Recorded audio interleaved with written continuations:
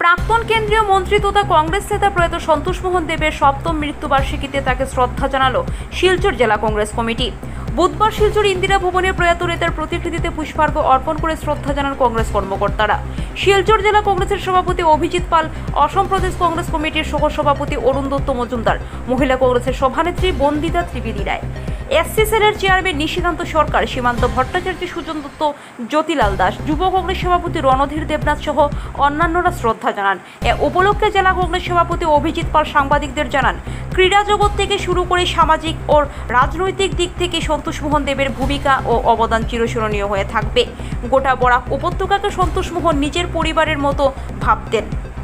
দলমত নির্বিশেষে প্রতিটি ক্ষেত্রে প্রতিজন প্রয়োজন ভুক্ত মানুষের পাশে দাঁড়িয়ে সাহায্য সহযোগিতার বিরল দৃষ্টান্ত স্থাপন করে গেছেন বলে জানান তিনি।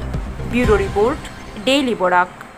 Silchar তথা ভারতবর্ষের খ্যাতনামা নেতা তথা আমাদের বরাকের জননেতা, প্রাক্তন কেন্দ্রীয় মন্ত্রী সন্তোষ মোহন দেবের সাততম মৃত্যুবার্ষিকীতে শিলচর জেলা কংগ্রেসের পক্ষ থেকে আমরা ওনাকে শ্রদ্ধাঞ্জলি জানাই। আমরা আজকে ওনাকে শ্রদ্ধার সহিত স্মরণ করি যে সন্তোষ মোহন দেবের মতো একটা ব্যক্তিত্ব। বরাক উপত্যকায় হয়তো ইতিহাসে থাকবে যে সন্তোষ মন্দেবের ব্যক্তিত্ব আর হয়তো আমরা কোনো দিন আমরা পাবো না।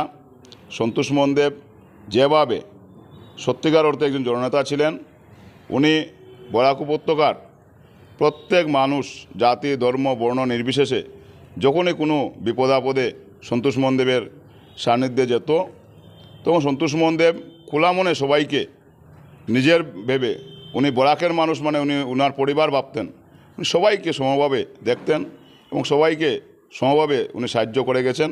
তাছাড়া বরাক উপত্যকার ক্রীড়া জগৎ থেকে শুরু করে রাজনৈতিক দিক থেকে এবং সামাজিক দিকেও ওনার অনেক অবদান আছে।